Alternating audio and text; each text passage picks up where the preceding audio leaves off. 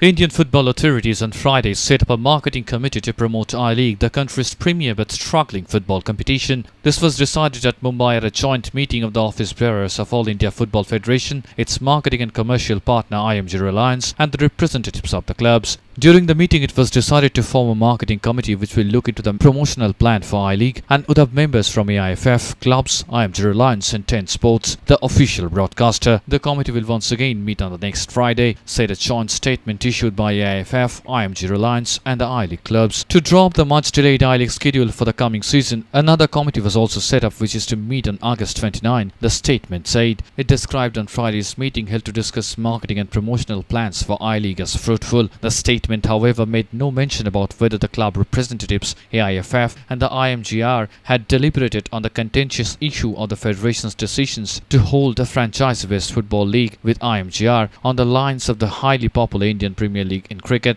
The clubs have opposed the idea of the IPL-like league, which is to run from January to March, and refused to take players on loan from the proposed competition or provide on-loan footballers to take part in it. Ishtiaq Ahmed, the club representative from Mohammedan Sporting who was present in that meeting, gave a phone-on interview to Extra Time. Let's listen what he said.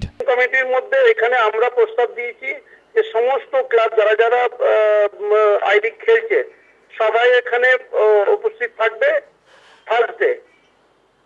সাড়ে বারোটার সময় meeting এখানে রাখা হয়েছে সবাই মিলে এখানে যাদের যাদের ওই ফিক্সড নিয়ে যাদের প্রবলেম হয়েছে, সেখানে শেডিউলিং কমিটিতে ওটা ডিসাইড হবে আর সেইখানে ওই দুজনকে রাখা হয়েছে মার্কেটিং কমিটিতে মার্কেটিং কমিটিতে একজন আছে আমাদের চিরাগ পান্না আর একজন আছে বিবেক সালগাঁওকার।